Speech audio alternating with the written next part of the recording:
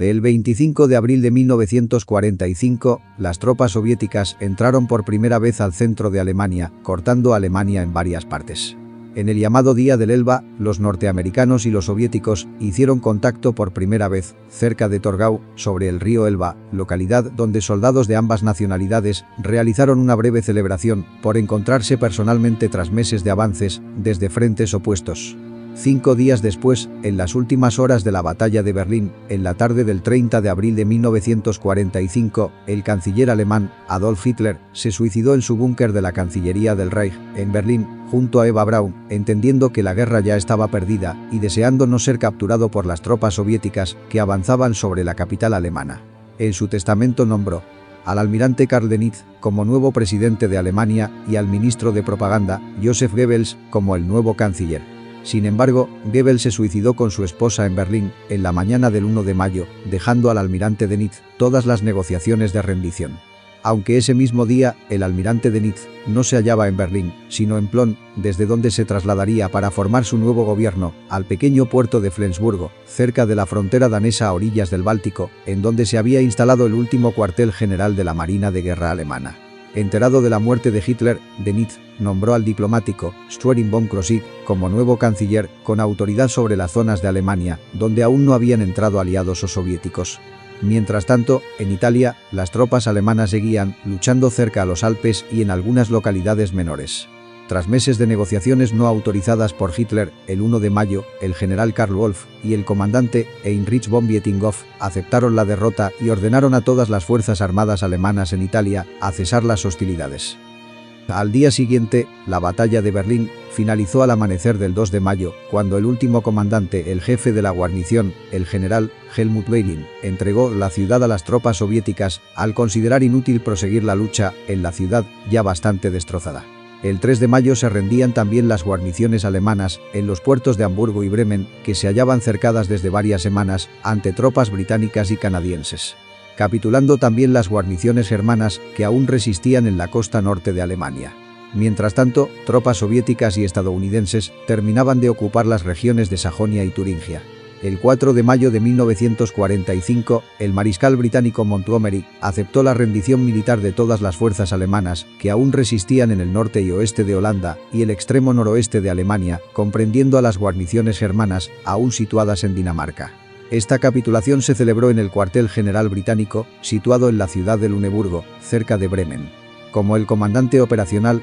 de algunas de estas fuerzas era el almirante Denitz, él mismo señaló a sus subordinados de la zona que la guerra europea había terminado y no tenía sentido resistir. Mientras tanto, fuerzas navales británicas se lanzaban a la ocupación de Dinamarca con apoyo de la resistencia danesa, desarmando y apresando a las fuerzas alemanas que se encontraron sin hallar resistencia apreciable. El 6 de mayo se rindió la guarnición alemana de Breslavia al mando del general Hermann Niehoff a las 2 y 41 de la mañana del 7 de mayo de 1945, en el cuartel general supremo de la Fuerza Expedicionaria Aliada, en Reims, Francia, el jefe del Estado Mayor del Alto Mando de las Fuerzas Armadas Alemanas, el general Alfred Jodl, firmó el acta de rendición incondicional para todas las fuerzas alemanas ante los aliados. Esta incluía que todas las fuerzas, bajo el mando alemán, cesarán las operaciones activas a las 23 horas, hora de Europa Central, el 8 de mayo de 1945.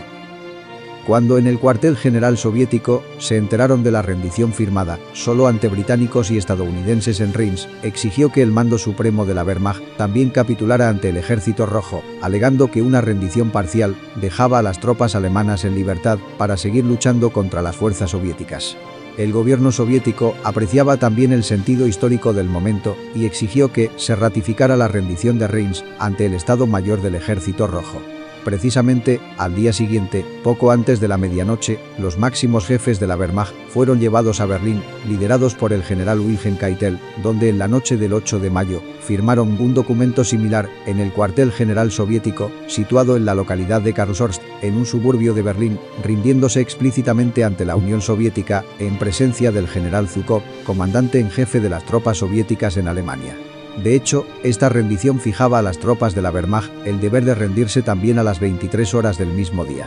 Durante todo este tiempo, los líderes militares alemanes habían tratado de ganar tiempo inútilmente para que los restos de varias unidades de la Wehrmacht huyeran lo más al oeste posible y evitaran así rendirse al ejército rojo, pero el alto mando soviético presionó para evitar esta maniobra de última hora y logró que las tropas alemanas aceptaran rendirse sin condiciones en la noche del 8 de mayo, sin importar el punto de Europa en donde estuviesen. La rendición del 8 de mayo afectó de inmediato a las tropas de la Wehrmacht que aún se hallaban en la región central de Austria, así como en el norte de Eslovenia y Croacia, donde se hallaban respaldadas por fuerzas croatas. Al saber de la rendición incondicional, las fuerzas alemanas y sus aliados croatas o eslovenos trataron de huir hacia el noroeste para capitular ante británicos o estadounidenses en el sur de Austria y no ser capturados por el ejército rojo. La rendición se hizo efectiva también en las fortificaciones de la costa atlántica de Francia. Allí, en los puertos de La Rochela, Dunkerque, Lorient y Nazaire, había tropas alemanas que no habían podido evacuarse oportunamente hacia el este tras el desembarco de Normandía. Otros puntos claves de resistencia alemana eran las islas de Ré y de Oleron, que fueron bloqueadas y bombardeadas durante varios meses por tropas francesas y estadounidenses, mientras los sitiados se amparaban en sus fortificaciones. El 8 de mayo también se rindieron las tropas alemanas de la guarnición del Dodecaneso y el 12 de mayo las de Creta, siendo estas las posiciones más aisladas de todo el Tercer Reich.